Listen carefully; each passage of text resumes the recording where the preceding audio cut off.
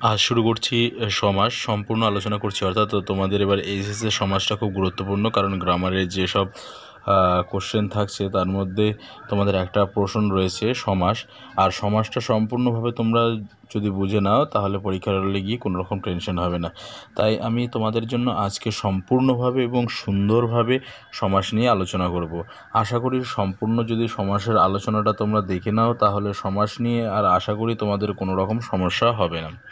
এবং সমাস অনায়াসেই করে আসতে পারবেন। তাহলে প্রথমেই বলি, সমাস করতে গেলে তোমাদের সমাস কী সেটা জানতে হবে।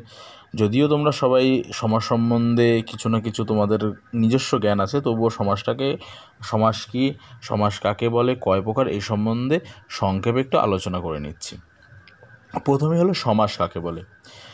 একপদী ভাব সমাস, অর্থাৎ একাধিক পদকে এক পদে পরিণত করাকেই সমাস বলে। তাহলে কি?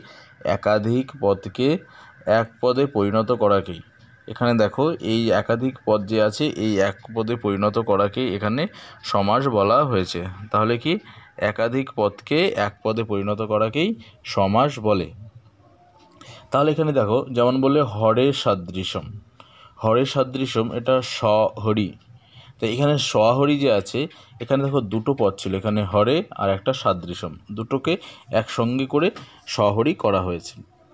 তাহলে এটাই হলো, এখানে দেখো একটা হলো সমাসবদ্ধ পদ, এখানে সমাসবদ্ধ পদ হলো শহরী এবং এখানে ব্যাস বাক্য এখানে যে দুটো পার্ট থাকে, একটা হলো বিগ্রহ বাক্য বা ব্যাস বাক্য আর একটা হলো সমাসবদ্ধ পদ।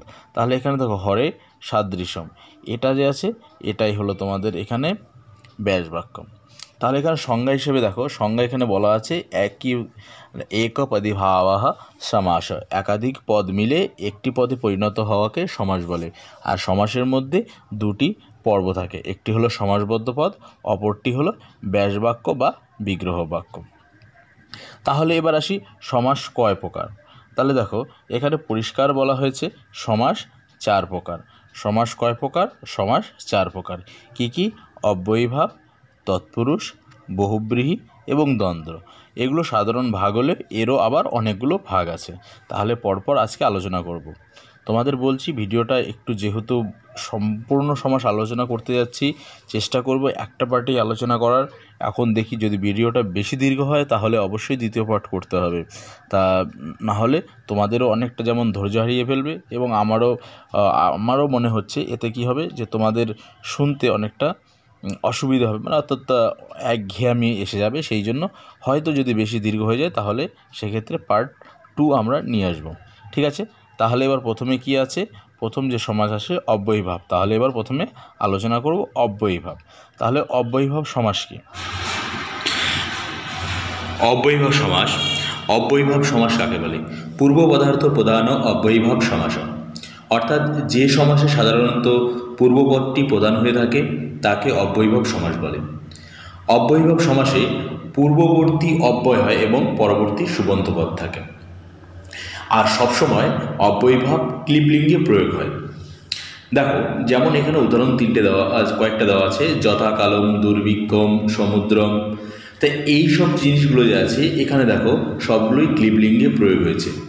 এবং যেমন যথা কালম কালম, অনতিক্রম্য দুর্ভিক্ষম, ভিক্ষায় অভাব, সমুদ্রম, মদরানাম সমৃদ্ধি। প্রত্যেক ক্ষেত্রেই এখানে বলা হয়েছে, পূর্ব পদটি যে আছে, পূর্ব পদটির অর্থই প্রাধান্য হয়েছে। দেখো, এখানে যেমন কাল, তারপর ভিক্ষা এবং মদ্রানাম, এগুলোকে কিন্তু প্রাধান্য দেওয়া হয়েছে। তাই এখানে অব্যয়ভাব সমাস হয়েছে। আর অব্যয়ভাব সমাসের ক্ষেত্রে কয়েকটা জিনিস তোমাদের লক্ষ্য রাখতে হবে। সামীপ্য সমৃদ্ধি, বৃদ্ধি, অভাব, অত্যয় অসম্প্রীতি পশ্চাদ যোগ্যতা বিপসা এবং অনতিবৃত্তি এবং সাদৃশ্য। এগুলো দিয়ে তোমাদের পরপর আলোচনা করছি। তোমরা একদম সহজেই বুঝে যাবে অবৈভাব সমাস কতটা সোজা। দেখো, সামীপ্য যদি থাকে, তাহলে সেক্ষেত্রে কি হবে? উপ আসবে বা সমীপম সমীপম থেকে উপ অর্থাৎ তোমাদের ব্যাসবাক্য যে আছে ব্যাসবাক্যে সবসময় সমীপম থাকবে। যেমন এখানে দেখো, উদাহরণ দেওয়া রয়েছে একটা। কুলেশ্য সমীপম কুলেশ্য সমীপম এখানে কি বলা হয়েছে? কুলের গাছের কথা বলা হয়েছে। যেহেতু কুলের কুলটাকেই প্রাধান্য দেওয়া হয়েছে, তার জন্য এখানেই কিন্তু নপুংসক মানে নপুংসক লিঙ্গে প্রয়োগ করে উপকূলম পদটি হয়েছে। সমৃদ্ধি। সমৃদ্ধির দেখো, এই সমৃদ্ধির ক্ষেত্রে কি থাকবে? সু। তাহলে সু থাকলে কি হবে? মদ্রা নাম সমৃদ্ধি।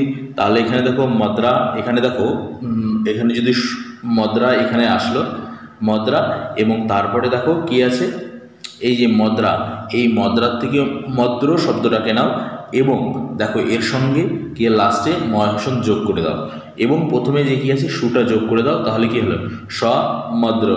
আর লাস্টে নপুংসক লিঙ্গ করার জন্য কি হলো? ম প্রয়োগ হয়ে গেল। তাহলে সমুদ্রম হয়ে গেল। ভারতেশে সমৃদ্ধি। তাহলে এখানে না দেখেও তোমরা বুঝতে পারবে। সু থাকলে কি হবে? সমৃদ্ধি আসবে। এবং ভারতম ভারতমের কি থাকবে? ভারতেশ্বর ষষ্ঠী বিভক্তির প্রয়োগ হয়েছে এখানে। ভারতেশ্বর সমৃদ্ধি। তাহলে এখানে হলো সম ভারতম। তাহলে বৃদ্ধি থাকলে কি হবে? বৃদ্ধি থাকলে তোমাদের সবসময় দু হয়। বৃদ্ধি থাকলে কি হবে? বৃদ্ধি থাকলে দু হবে। তাহলে জবানানাম বৃদ্ধি দুর্জবানাম অভাব যদি থাকে, তাহলে অভাব থাকলে কি কি প্রয়োগ হয়? নি, দু এবং অ। মক্ষিকানাম অভাব এখানে হবে নির্মক্ষিকাম জনানাম অভাব নির্জনম এবং বিঘ্নেশ্ব অভাব নির্বিঘ্নম। এইভাবে তোমরা সহজেই দেখো, এগুলো কি আছে যে অভাব থাকলে কি নি, দু, অ আসবে এবং বৃদ্ধি থাকলে দু। অর্থাৎ এখানে পরিষ্কার তোমাদের। সমাজবদ্ধ যদি পদ দেওয়া থাকে, তাহলে এখানে দু দেখলে অবশ্যই মনে রাখবে কি হবে? অবশ্যই সেখানে বৃদ্ধি আসবে। বৃদ্ধি আসলে কি হবে? আবার সেই টেকনিক একটাই যে দু থাকলে যে বৃদ্ধি আর বৃদ্ধিটা কোথায় হবে? সবার শেষে হবে। এবং কি আছে? জবানাম। এখানে বলা আছে, সেখানে কি হবে? যে জবানানাম ষষ্ঠীর বিভক্তির প্রয়োগ হয়েছে এখানে।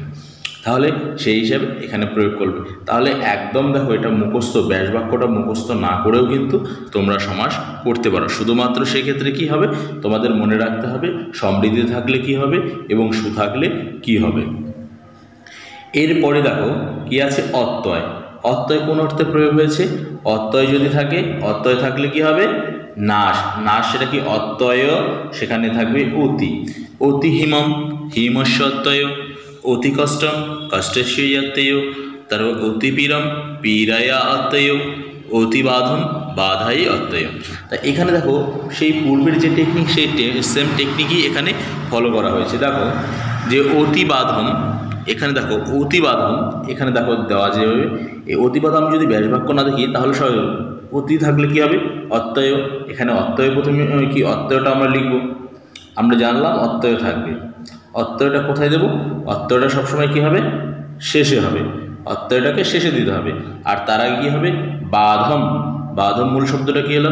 বাধা। বাধা শব্দ কী শব্দের মতো? লতা শব্দের মতো। লতায়া আছে। তাহলে এখানে বাধায়া। তাই এখানে কী হবে? বাধায়া। বাধায়া অত্যয় অতিবাধম।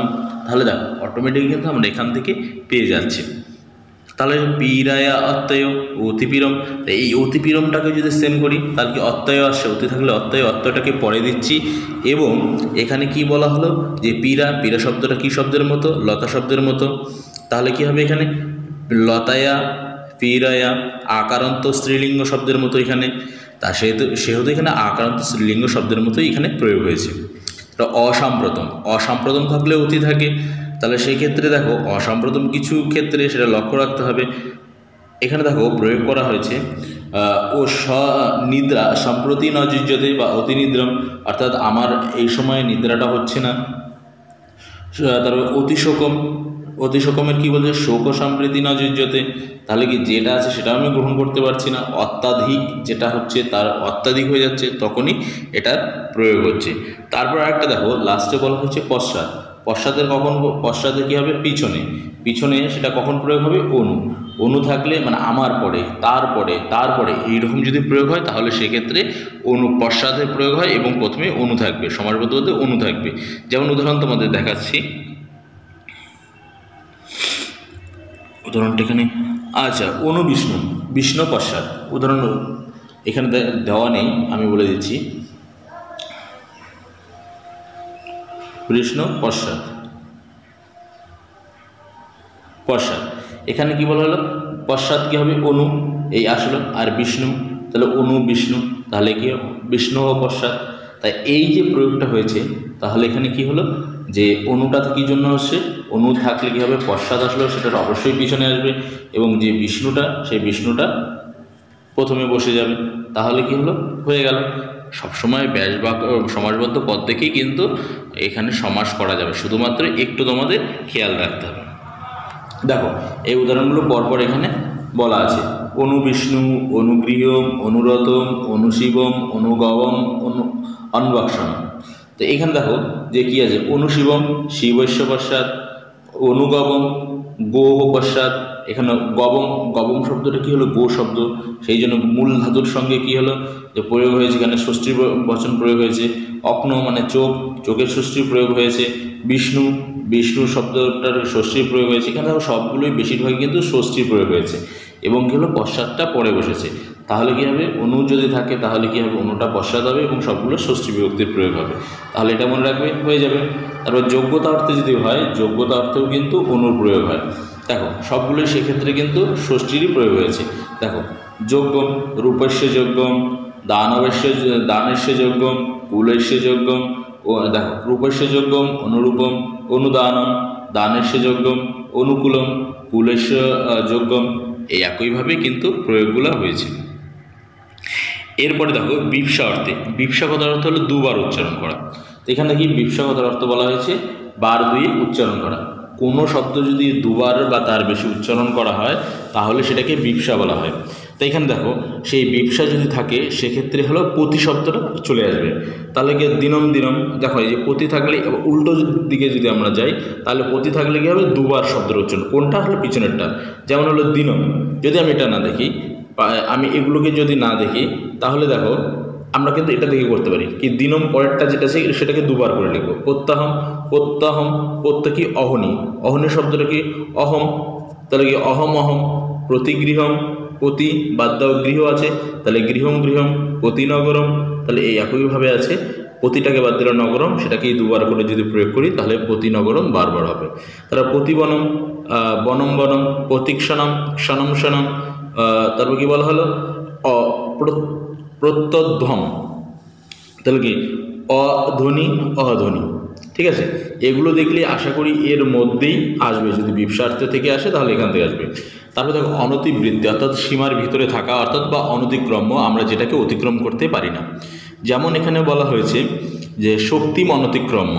শক্তি অনতিক্রম, যথাশক্তি। তাহলে সেই ক্ষেত্রে গিয়ে যথা, অর্থাৎ কি আমরা যেটা করতে পারি যথেষ্ট, তার বেশি আমরা করতে পারি না সাধারণত বলতে সেটাকেই বলা হয় যথা। তাই সেই যথাটা করে তারপরে যে প্রয়োগটা আছে, মূল ধাতু, সেই ধাতুটা সরি এখানে যে সুবন্ত পদ আছে, সেটাকে যোগ করলেই হয়ে যাবে। দেখো, এক্ষেত্রে এখানে বলা হয়েছে যথাশক্তি, শক্তি অনতিক্রম্য যোগ্যম, এখানে দেখো যথাযোগ্যম, কি বলা হলো?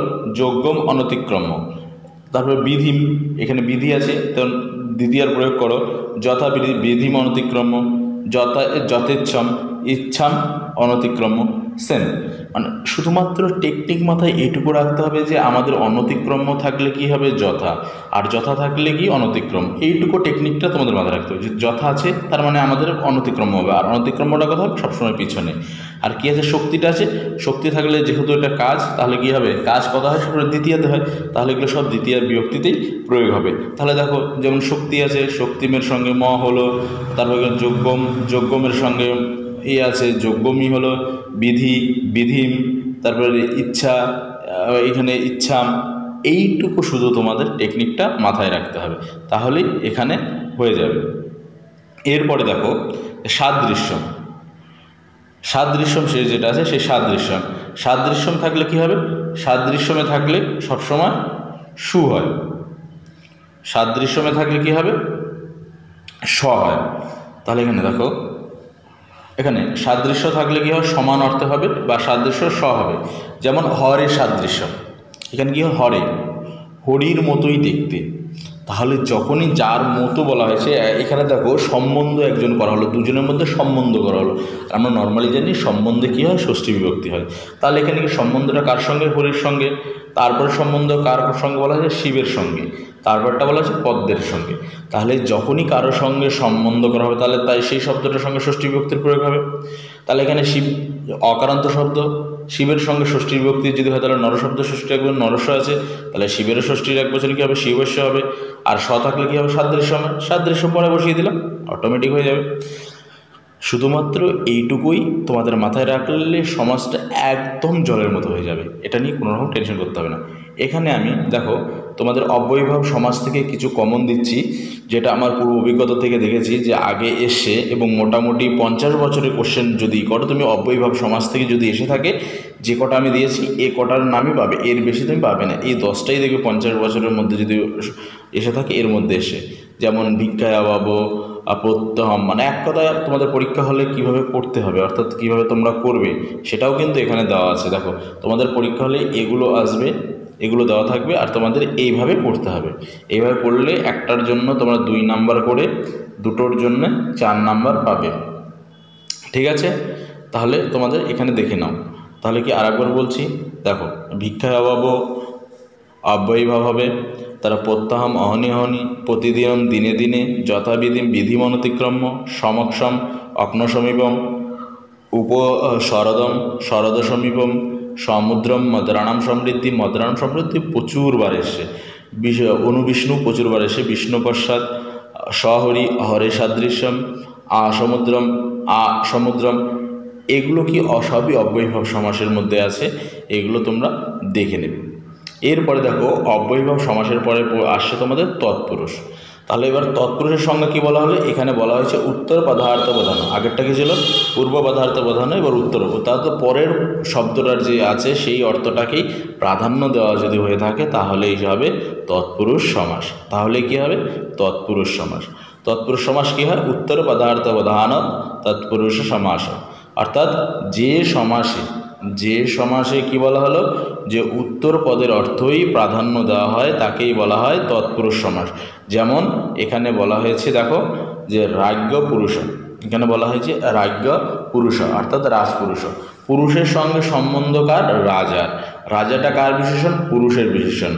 তাহলে হলো রাজপুরুষ। এখানে এই যে রাজপুরুষ শব্দটা আছে, এটাকে যদি ভাঙি তাহলে কী হবে? রাজ্ঞা পুরুষ এই পুরুষের সঙ্গে সম্বন্ধ রয়েছে রাজা। তার জন্য এখানে ষষ্ঠী তৎপুরুষ সমাস হয়েছে। অর্থাৎ এখানে কিন্তু রাজাটাকে প্রাধান্য দেওয়া, পুরুষটাকেই প্রাধান্য দেওয়া হয়েছে। কিন্তু সে কেমন? তার বিশেষণটা কেমন? সেটা হলো রাজা বা রাজ্ঞ। এই শব্দটা এখানে বলা হয়েছে। তার জন্য এখানে তৎপুরুষ সমাস হয়েছে। আর তৎপুরুষ সমাসের মধ্যে আবার কয়েকটা ভাগ আছে, দেখো। তৎপুরুষ সমাসের মধ্যে বলা হয়েছে, দ্বিগু সমাস, কর্মধারার সমাসকে আলাদাভাবে আলোচনা করা হয়েছে।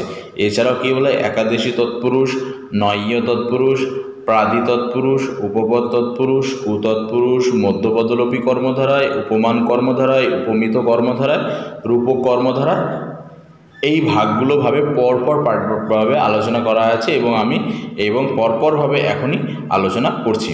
তোমরা একটু মন দাও এবং তোমাদের মাঝে বলছি, যদি ভিডিওটা ভালো লেগে থাকে তাহলে অবশ্যই তোমাদের বন্ধুদের সঙ্গে শেয়ার করো। আর যদি মনে হয় যে তোমরা আমার কাছ থেকে বিন্দুমাত্র উপকৃত হচ্ছে, তাহলে তোমরা নিজের এসে সাবস্ক্রাইব করে নেবে। কারণ পরবর্তীতে আরও তোমাদের জন্য আকর্ষণীয় কিছু ক্লাস নিয়েছি এবং তোমরা যেটা করলে তোমরা অটোমেটিকই সংস্কৃত একদম তোমাদের কাছে জলের মতো হয়ে যাবে এবং সংস্কৃত নিয়ে কোনো রকম চিন্তা করতে হবে না। ঠিক আছে? তাহলে দেখি এবার পরে কি আর তৎপুরুষের প্রথম ভাগ দেখো। দ্বিতীয় তৎপুরুষ। সেই দ্বিতীয় তৎপুরুষ কি? দ্বিতীয়ান্ত পদ। এখানে দেখো কোনগুলোর সঙ্গে হবে? দ্বিতীয়ান্ত পদ, শ্রিত, অতীত, পতিত গত কি কি বললাম? শ্রিত, অতীত, পতিত, গত, প্রাপ্ত, আপন্ন। এই সমস্ত শব্দের সঙ্গে দ্বিতীয় তৎপুরুষ হয়। যেমন কৃষ্ণ স্মৃত তাহলে এখানে দেখো স্মৃত শব্দ থাকলে কী হবে? মনে রাখবে। এই জিনিসগুলো মনে রাখবে তুমি। দেখ তোমরা সবাই বলছি যে এই জিনিসগুলো মনে রাখলে তোমাদের পরীক্ষা হলে গিয়ে সমাস নির্ণয় করা কোনো রকম অসুবিধা না, একদম জলের মতো। কী কী হবে? স্মৃত, অতীত, পতিত, গত, প্রাপ্ত, আপন্ন। এগুলো যদি মনে রাখো তাহলে হয়ে গেল। তাহলে স্মৃত স্মৃত থাকলে কি দ্বিতীয় হবে? দ্বিতীয় হলে কার সঙ্গে বল, প্রথমেই বলা হলো উত্তর পদার্থকেই প্রাধান্য দেওয়া হয়েছে। কৃষ্ণম স্মৃত, তারপর চরণাশ্রিত চরণকে আশ্রয় করছে। কাকে আশ্রয় করেছে? চরণ। মেন কথা হলো আশ্রয় পাওয়াটা, সেটা কোথায়? চরণে। তাহলে প্রথম মেন জিনিসটা এখানে দেখো কি? যে স্মৃত, আশ্রয়ের কথা বলা হয়েছে, তারপর পতিত পড়ার কথা বলা হয়েছে, কোথায় পড়ে গেছে? নরকে পড়েছে। এই যে জিনিসগুলো এই জিনিসগুলোই এখানে দ্বিতীয় তৎপুরুষের প্রয়োগ হয়। এছাড়া বলা হয়েছে ব্যাপ্তিয়ার্থে দ্বিতীয়ান্ত কালবাচক শব্দর সঙ্গে তোয়া প্রত্যয়ের বিভিন্ন পদে দ্বিতীয় বিভক্তি হয়।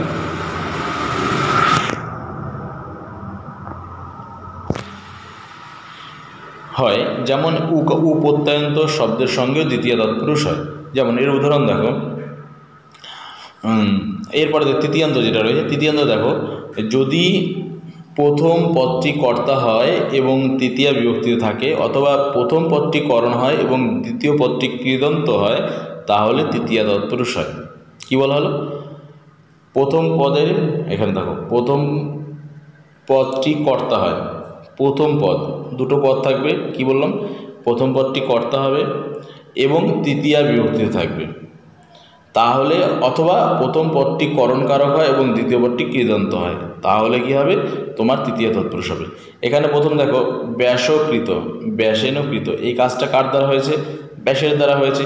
এখানে করণের বিভক্তি হয়েছে। করণ অর্থাৎ তৃতীয় বিভক্তি হয়েছে, তার জন্য তৃতীয় পুরুষ ভাষেন বিরচিতম। এখানে ভাস রচনা করেছে। কার দ্বারা রচনা হয়েছে? ভাষের দ্বারা।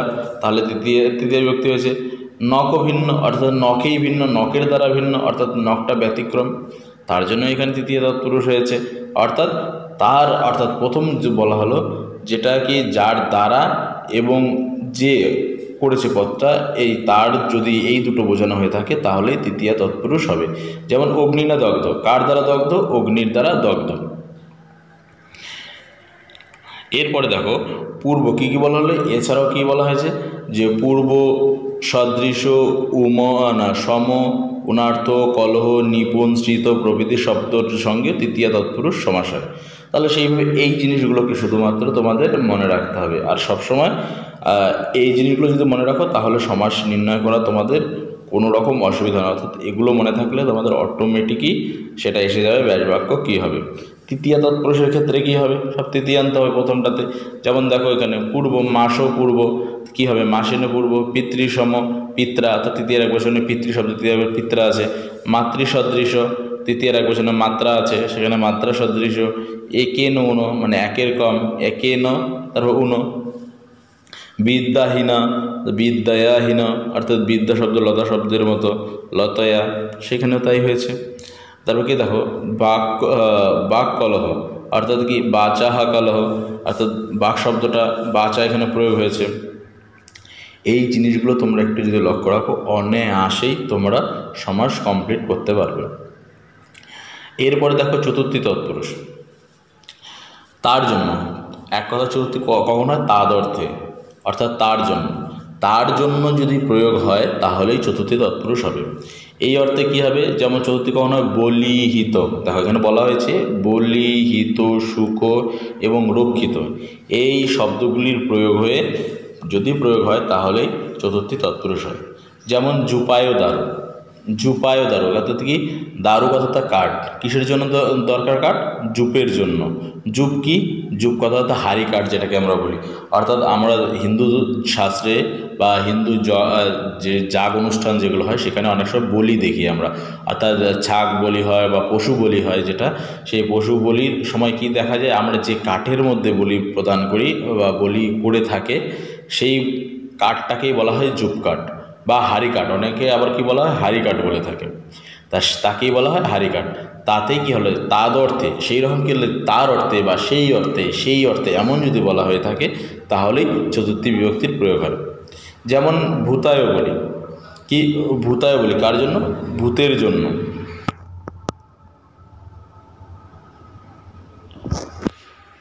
ধরো জগদ্ধিতম জগদ্ধিতম কি জগতে হিতম? অর্থাৎ জগতের হিতের জন্য। এই সব যদি প্রয়োগ হয়ে থাকে, অর্থাৎ তার জন্য। কার জন্য? জগতের মঙ্গলের জন্য, ভূতের জন্য।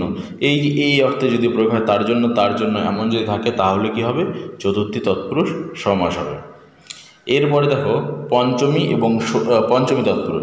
পঞ্চমী তৎপুরুষে কী হবে বলা হয়েছে? পঞ্চমী তৎপুরুষের ক্ষেত্রে প্রথমে বলা হয়েছে ভয়, ভীতি ও ভি শব্দের যোগে পঞ্চমন্ত পদের সঙ্গে কি হবে? পঞ্চমী তৎপুরুষ সমাস হয়। যেমন চৌরাত ভয়ম চৌরভয়ম এখানে ভয়টা কার থেকে? চৌরের থেকে ভয়ের কথা বলা হয়েছে। সর্পভীত, অর্থাৎ সর্পাদভীত, প্রেতভীত, অর্থাৎ পেট থেকে ভয়ের কথা বলা হয়েছে। ব্যাঘ্রাত ভীত অর্থাৎ বাঘ থেকে ভয়ের কথা বলা হয়েছে।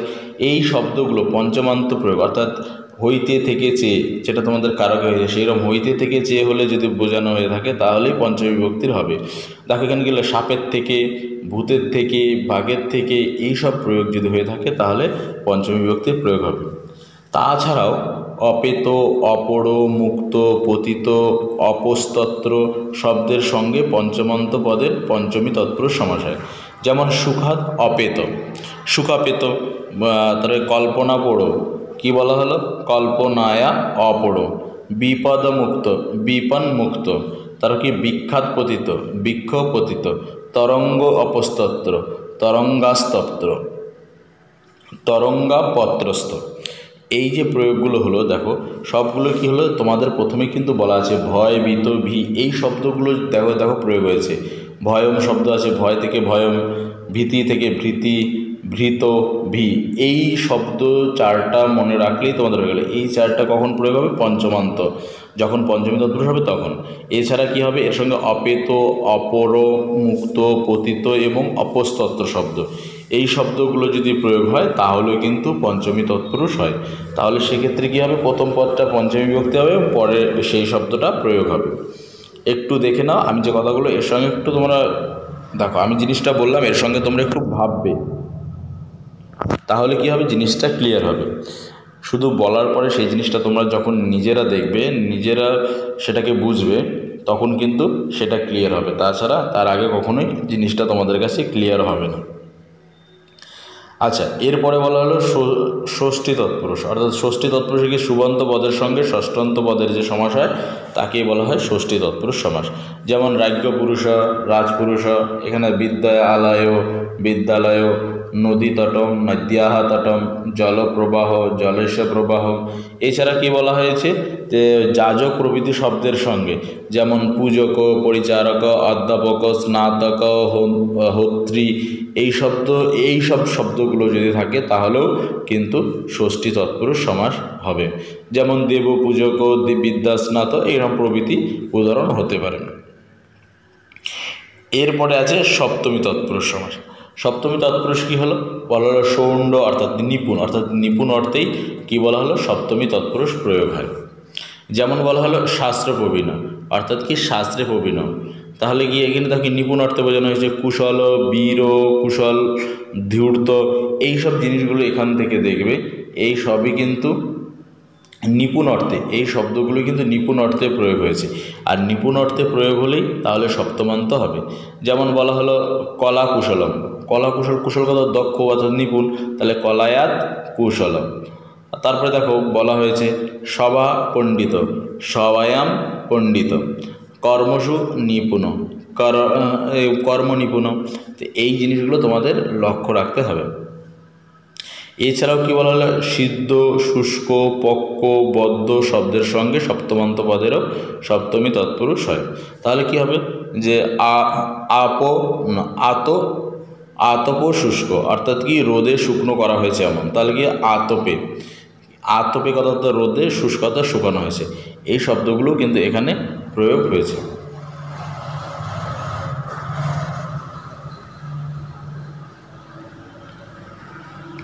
প্রয়োগ হয়েছে, ঠিক আছে?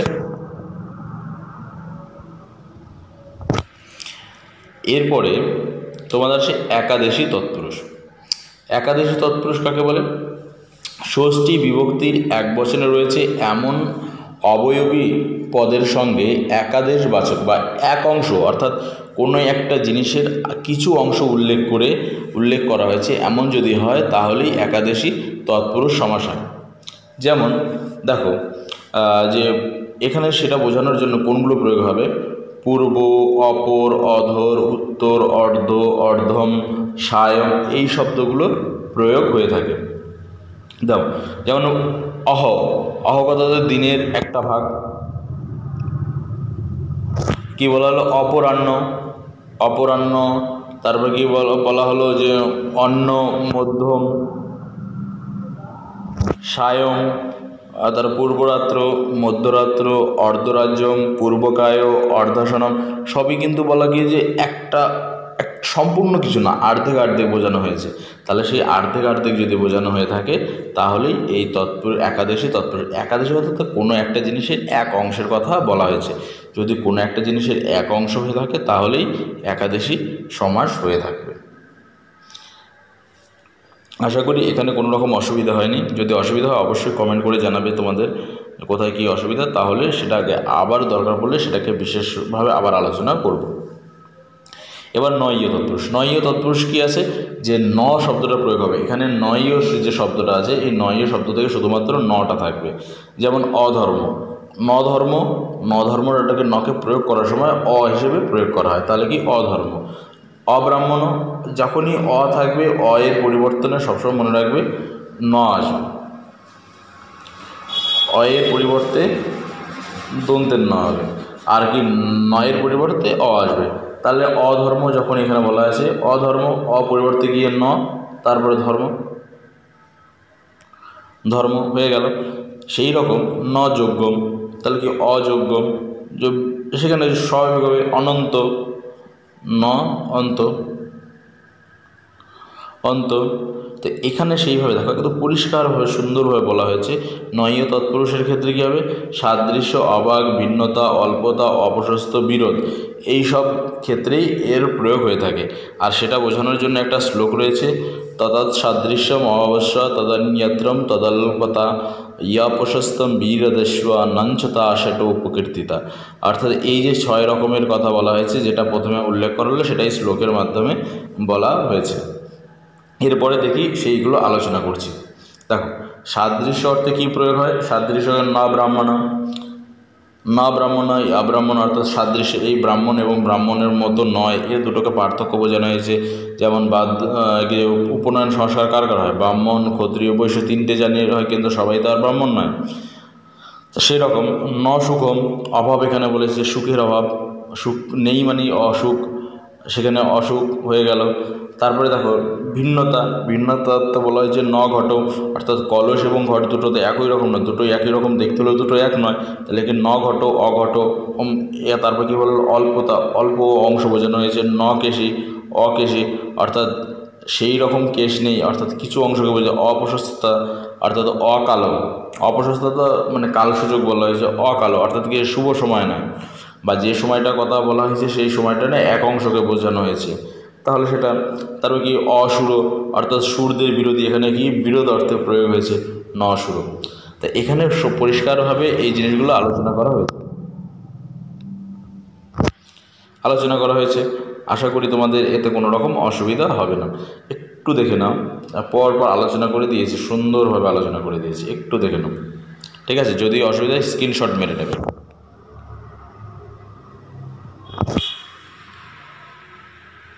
ঠিক আছে, এরপরে দেখো। প্রাদি তৎপুরুষ প্র প্রভৃতি কুড়িটি উপসর্গ যে আছে, প্র পরা অবসম অনুভব নিস নির্দোষ দূর, এইভাবে যে কুড়িটি উপসর্গ আছে, সেই কুড়িটি উপসর্গের কথা বলা হয়েছে।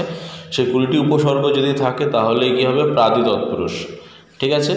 আর তার যেমন এখানে সেইগুলোর মধ্যে রয়েছে প্রগত, তারপরে দেখো, প্র শব্দটা রয়েছে সু এই সব জিনিসগুলো যদি প্রয়োগ থাকে, তাহলে কি হবে? প্রাদি, তৎপুরুষ সমাস হবে এখানে তেমন বোঝানোর কিছু নেই। এটা এই জিনিসটা মনে করো, কুড়িটা উপসর্গর যদি প্রয়োগ হয়ে থাকে, তাহলেই এক্ষেত্রে কী হবে? প্রাদি, তৎপুরুষ হবে। উপপদ। উপপদ, তৎপুরুষ, সমাস কি? কৃত প্রত্যয়ন্ত শব্দের সঙ্গে, অর্থাৎ বিভক্তি যোগের আগে সুবন্ত উপপদের যে সমাস হয় তাকেই উপপদ তৎপুরুষ বলে, যেমন কুম্ভকর। এখানে ব্যাসবাক্যটি হলো কুম্ভম করতি যশোয়া অর্থাৎ যে কুম্ভ তৈরি করে সেই হলো কুম্ভকর। এখানে কাজটা কি? কাজটাকেই কিন্তু প্রাধান্য দেওয়া হয়েছে। আর দেখো পাশ কাজটাকে প্রাধান্য দিয়ে এখানে বলা হয়েছে, কৃত প্রত্যয়ন্ত শব্দের সঙ্গে সমাস হয়েছে। কৃত ধাতু অন প্রত্যয় করে কি হয়েছে? কারও শব্দটা নিষ্পন্ন হয়। আর অন প্রত্যয়টি কৃত শব্দের কৃত প্রত্যয় বলে কারও শব্দটি একটি কৃত প্রত্যয় শব্দ। তাহলে কি কুম্ভকারো পদে? কুম্ভ এবং কার দুটো মিলেই কিন্তু পদটা সিদ্ধ হয়েছে।